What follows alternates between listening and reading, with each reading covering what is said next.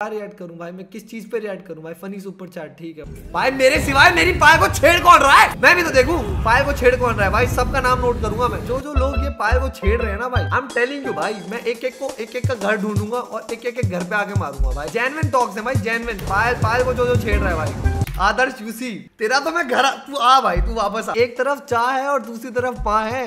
अपनी तरफ़ से बोल दो पायल, क्योंकि हमारी तरफ़ से तो हाँ है। तेरी बहन का आदर्श साढ़े रुक जा तू बेटे तू वापस आ तेरे को मैं मैं तेरी हाँ करता हूँ भाई तू तू तू भाभी को छेड़ता है भाई ऐ- ऐसे ऐसे करेगा क्या तू? एक तरफ़ चाह है दूसरी तरफ़ माँ है अपनी तरफ़ से बोल दो पायल क्योंकि हमारी तरफ़ से हाँ है। अच्छा।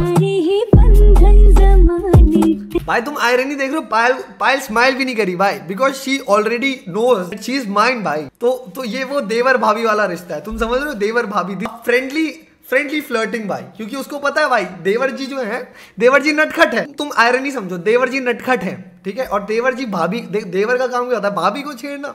वो अपनी बात नहीं कर रहा है वो मेरे लिए बात कर रहा है कि हाँ भाई हमारे घर वालों की तरफ़ से हाँ है पायल और मोंग की शादी के लिए ठीक है?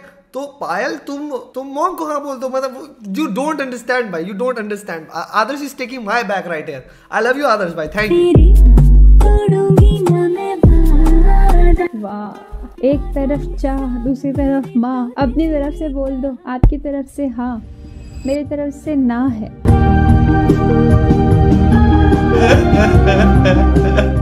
इसने आदर्श को ही ना बोला। तुम समझ नहीं रहे हो। भाई, भाभी देवर का रिश्ता है, पर वो पायल को पायल को समझ में नहीं आया कि मतलब